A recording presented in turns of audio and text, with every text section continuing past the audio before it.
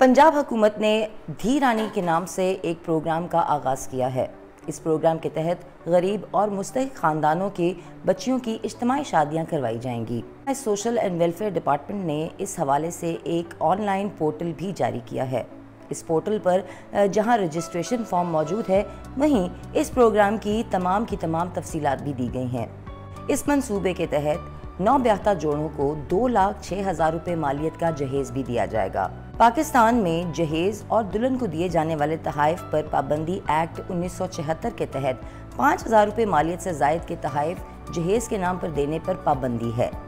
जब हमने महकमा सोशल वेलफेयर के डायरेक्टर जनरल सिकंदर जीशान से बात की तो उन्होंने इसको तस्लीम करते हुए कहा कि महकमे से लिखने में गलती हो गई।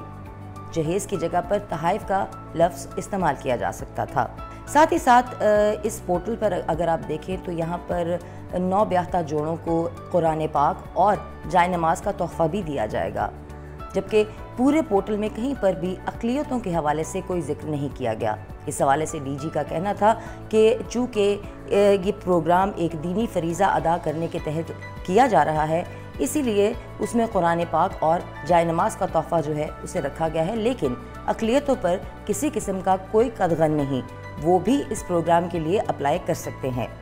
इस पोर्टल पर एक रजिस्ट्रेशन फॉर्म भी दिया गया है जिसे लड़की, उसके वालदेन या उसका कोई भी गार्डियन फिल करके जमा करवा सकता है। और अगर ये फॉर्म किसी को समझ ना आए तो महकमा सोशल वेलफेयर ने इजला के अंदर अपने हेल्पलाइन डेस्क भी बनाए हैं।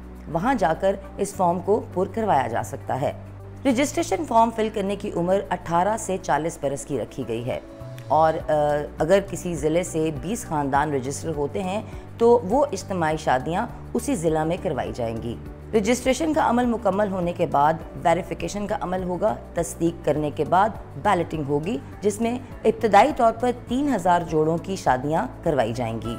इज्तमाही शादियों के मौके पर वज़ीर अला पंजाब मरीम नवाज़ की जानब से तमाम जोड़ों को ए टी एम के ज़रिए एक लाख रुपये सलामी भी दी जाएगी, जबकि हर जोड़े के खानदान के बीस अफराद को खाना भी दिया जाएगा।